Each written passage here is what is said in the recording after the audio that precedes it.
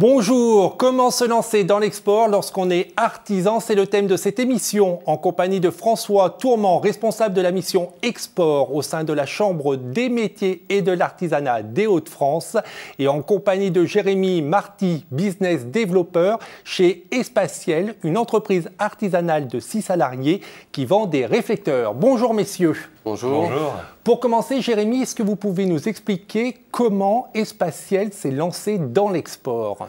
Tout à fait. Alors, euh, nous avons mis au point un produit unique au monde qui s'appelle le réflecteur de lumière euh, et qui permet d'améliorer le confort et la luminosité naturelle chez soi.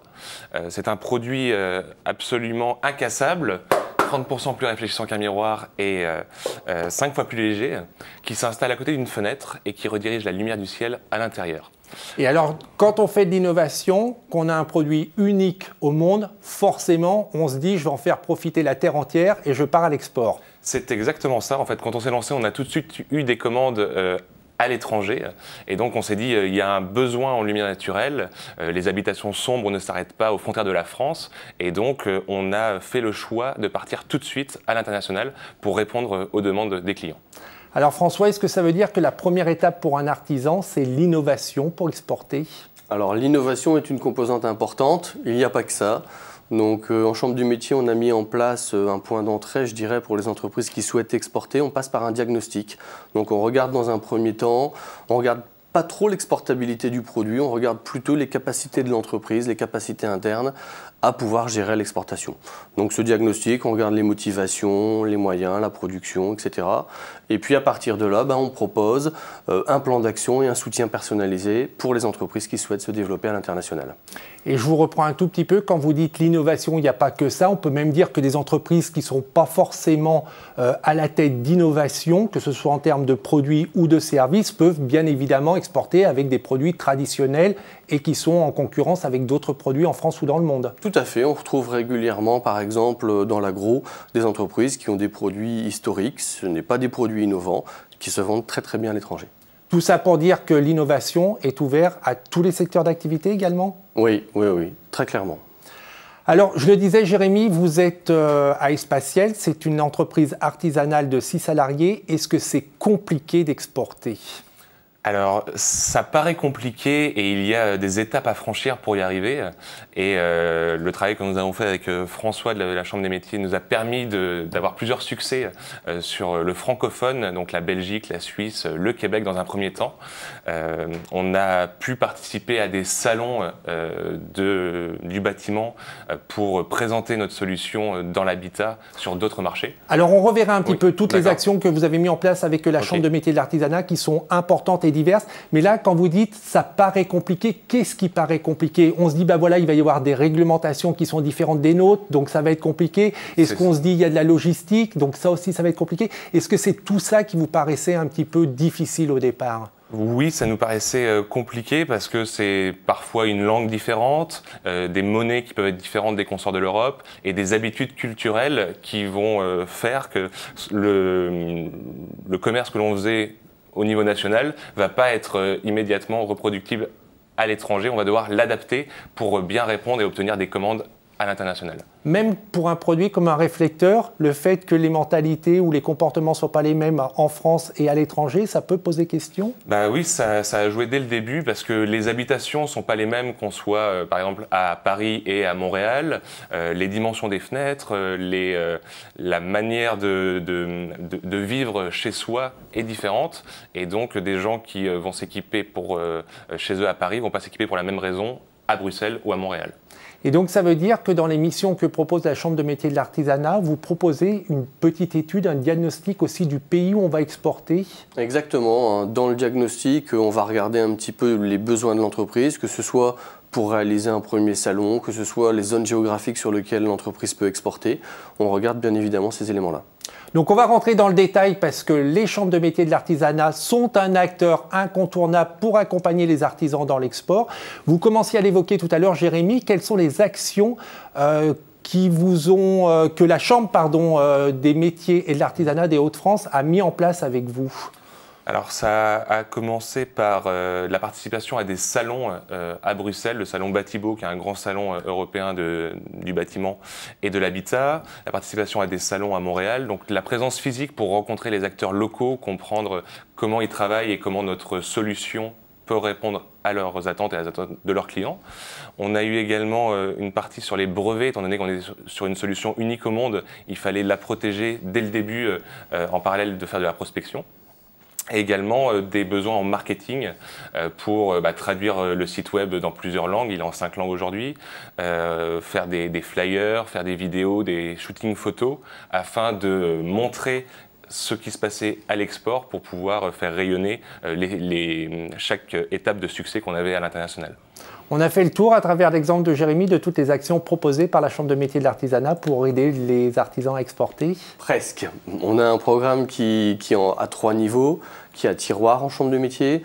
Euh, on a beaucoup de demandes sur les entreprises du bâtiment qui peuvent faire leur prestation, une première prestation de service en Belgique par exemple, quelles sont les contraintes sur la TVA, etc donc un bloc d'entreprise qu'on accompagne sur ce niveau 1. On a un deuxième niveau qui est le diagnostic. Donc là, on accompagne une petite centaine d'entreprises. C'est le cas de l'entreprise espacielle. Et par la suite, comme l'a rappelé Jérémy, on cofinance. Donc c'est un troisième niveau d'accompagnement. Donc l'entreprise peut bénéficier d'une enveloppe financière de 50% de 8000 euros hors taxe. Et on a construit une boîte à outils de l'export dans lequel on cofinance le premier salon, les outils commerciaux, la traduction, les besoins en propriété, industrielle, pardon, etc. Comment vous sélectionnez les entreprises artisanales qui vont pouvoir bénéficier de ces multiples services et de cette boîte à outils? Eh bien, on ne les sélectionne pas forcément. Il euh, faut savoir qu'à peu près deux tiers des entreprises qui viennent nous voir nous appellent parce que on les a sollicités sur l'export. C'était pas forcément une démarche proactive de leur part. Ils nous appellent, nous disent ben voilà, euh, je suis archetier, on m'a sollicité au Japon, est-ce que vous pouvez m'aider? Nous, bien évidemment, on les fait entrer dans le processus de la chambre de métier d'accompagnement pour voir euh, ben, tous les points les points de, de blocage qu'il pourrait y avoir à l'export. Et donc, on accompagne sur ces thématiques-là. Quel est le pourcentage du chiffre d'affaires que vous faites à l'export? Alors chez Espaciel, on a 20% de nos commandes qui sont en dehors de la France et euh, dans ces 20%, on a même 10% sur la Belgique uniquement. Et vous avez en objectif de faire évoluer encore ce, chiffre? Exactement. On souhaite devenir un leader mondial du, réflecteur de lumière par complément de fenêtre pour améliorer son confort chez soi. Et donc, à terme, on souhaite réaliser un chiffre d'affaires plus important à l'export qu'en euh, France. Que représente l'export au sein des entreprises artisanales? Là, on voit une entreprise artisanale de 6 salariés avec 20% du chiffre d'affaires qui est fait à l'export. En, général, il y a combien d'entreprises qui, euh, exportent parmi les entreprises artisanales Alors, euh, au niveau des chiffres officiels, il y a 120 000 exportateurs au niveau français. Il faut savoir qu'une étude a été mise en place en 2012 par l'Institut supérieur des métiers et il s'avère qu'un peu plus de 30% des exportateurs sont des entreprises artisanales. C'est-à-dire qu'au niveau national, toute entreprise confondue, quel que soit le secteur d'activité artisanale ou non, quelle que soit la taille, il y a 120 000 entreprises qui exportent et parmi ces 120 000 entreprises, il y a 30% qui sont des entreprises artisanales. Tout à fait. Et dans ces 120, 000 entreprises, dans les 30% donc qui sont des artisans, on retrouve absolument tous les secteurs d'activité. Aujourd'hui, qu'est-ce qui bloque encore pour qu'on fasse exploser ce chiffre et que demain, peut-être, euh, puisqu'on disait que tous les secteurs d'activité peuvent exporter, pour que toutes ces entreprises, donc, euh, deviennent des entreprises exportatrices? Je dirais qu'il y a encore quelques freins. Naturellement, l'entreprise artisanale, qui est plutôt sur son marché local, régional, ne s'ouvre pas euh, à l'international. Comme je le disais tout à l'heure, les deux tiers des entreprises qui nous sollicitent c'est d'abord un partenaire qui sollicite l'entreprise, donc l'export n'est pas proactif pour l'entreprise. Donc c'est déjà inverser la tendance, ne pas attendre qu'on soit sollicité par un premier client, mais se dire l'export, ça peut être fait pour moi, donc j'y vais et j'entame une démarche. Et c'est le sens de l'offre de service qui est proposée aux entreprises, c'est de présenter donc des exemples d'entreprises dans tous les secteurs d'activité et de montrer qu'il y a des étapes, c'est pas plus compliqué qu'autre chose. On passe par le diagnostic et puis on regarde au niveau des outils, des conditions générales de vente, ce qui permet de conforter l'entreprise et d'aller sereinement à l'export. Est-ce que vous voyez d'autres freins qu'il faudrait lever pour faciliter euh, l'exportation? Je dirais aujourd'hui, euh, on rencontre beaucoup de chefs d'entreprise qui, au niveau des langues, euh, ont, des difficultés. Pour elles, c'est un frein majeur.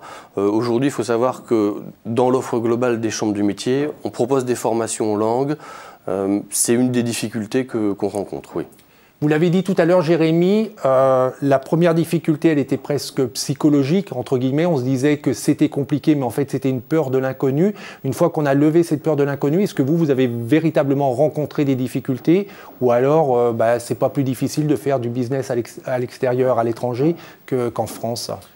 Alors on a eu quelques difficultés, on a dû recentrer notre démarche export. Au début, euh, on a voulu se lancer en anglais rapidement et en fait on s'est rendu compte que déjà en français il y avait un gros travail à faire sur les pays francophones et donc on a recentré notre business plan à l'export pour, euh, comme je vous disais, la Belgique, la Suisse, le Québec. Et maintenant on souhaite développer l'anglophone mais on sait que ça va prendre du temps maintenant qu'on a fait les étapes pour les pays francophones à l'export et on fait maintenant des actions qui porteront le fruit que dans un an ou deux ans, une fois qu'on aura passé les différentes étapes dans des pays anglophones. C'est aussi une leçon euh, que donne la Chambre de métier de l'artisanat, c'est de, il ne faut pas avoir les yeux plus gros que le ventre et puis commencer étape par étape lorsqu'on se lance dans l'export. Exactement, généralement on est plutôt prudent quand on accompagne une entreprise. Il faut savoir qu'une entreprise qui financerait son premier salon à l'international sans le préparer, généralement ça ne se passe pas très bien. Donc nous on est là pour aider, il faut accompagner en amont, pendant le salon, après le salon. Il faut arriver avec des outils traduits. Donc effectivement, c'est une démarche prudente. Généralement, on travaille plutôt sur l'Union européenne, ensuite sur le grand export. Pour terminer, pour lever ce fameux frein psychologique qui fait qu'on craint les choses avant de les connaître vraiment et qu'on se dit ça va être compliqué, qu'est-ce qu'on pourrait dire à vos collègues artisans euh, pour les inciter à se lancer dans l'export? Alors nous, l'export, ça a été un succès parce qu'on a eu des ventes immédiatement dans d'autres pays et ça nous a en plus conforté sur notre marché national parce que quand on revenait auprès de nos partenaires en disant on a fait une opération à Bruxelles, on a fait une opération à Montréal, eh bien on avait une crédibilité, plus forte sur le marché national que si on n'était pas parti à l'export dès le début. C'est-à-dire que ça renforce aussi euh, son marché national lorsqu'on lorsqu'on exporte. C'est exactement ça. On est plus fort sur son marché national quand on a des, des opérations, des opérations de référence à l'étranger. Je pense que le bilan est difficile à établir, mais est-ce que euh, vous avez une impression, un sentiment que les entreprises que vous avez aidées à exporter, à la fois elles ont réussi et elles ont pérennisé leur activité d'export, et est-ce que ça a développé, euh, à l'exemple d'Espatiel, est-ce que ça a développé leur chiffre d'affaires? Bah, Complètement, ce n'est pas un sentiment, on fait régulièrement des bilans. Le dernier bilan sur 2011-2016 euh, montre que les entreprises ont doublé quasiment leur chiffre d'affaires sur l'accompagnement et sont passées d'une part de 30 000 euros en chiffre d'affaires export à 200 000 euros en moyenne. Il faut savoir aussi qu'il y a des enjeux sur l'emploi, puisque 60% des entreprises qui ont été accompagnées ont embauché sur cette période de 5 ans 2,75 euh, équivalents temps plein dans l'entreprise. Donc c'est vraiment quelque chose d'important, c'est de la production qui est régionale et euh, des produits qui sont vendus à l'international. Et le risque est minime Et le risque est minime. On conseille bien évidemment aux entreprises de venir nous voir puisqu'on a une offre qui est adaptée au métier et à l'artisanat, donc euh, à disposition des entreprises bien évidemment. Merci beaucoup pour ces éclairages. Merci. à vous. Et ce sera le mot de la fin, la conclusion de cette émission. Si vous êtes une entreprise artisanale, n'hésitez pas, lancez-vous à l'export et pour cela, allez voir la chambre de métier et de l'artisanat de votre département. Si vous voulez en savoir plus sur les activités de nos invités, donc Espatiel, c'est www.espatiel.com pour connaître les différentes missions, dont les missions export de la chambre de métier et de l'artisanat des Hauts-de-France, c'est artisanat- npdc.fr et plus généralement le portail de l'artisanat, c'est www.artisanat.fr. On se retrouve la semaine prochaine. Vous pouvez euh, revoir cette émission en attendant sur demain.fr et en attendant de se retrouver, que le souffle de la création et que l'esprit de l'export vous accompagne. Au revoir.